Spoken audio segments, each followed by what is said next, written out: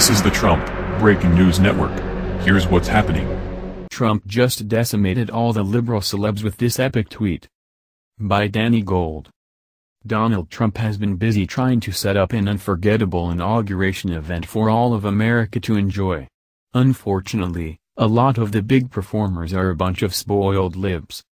They figured they could reject Trump publicly with zero backlash.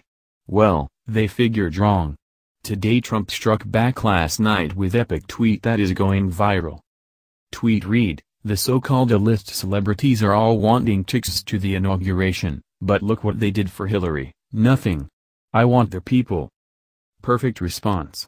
Donald Trump already said before that he never wanted a giant, 10-event inauguration like Obama had. He has too much work to do saving America. And unlike the Democrats, Donald Trump remembers exactly who is important. Not the celebrities, the American people. Plus I have no doubt that the Donald will provide an amazing and unforgettable inauguration regardless of who shows up.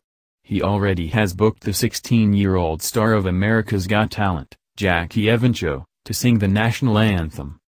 Plus, if you remember, President Trump himself used to be an A-list celebrity, so I'm sure he will do just fine.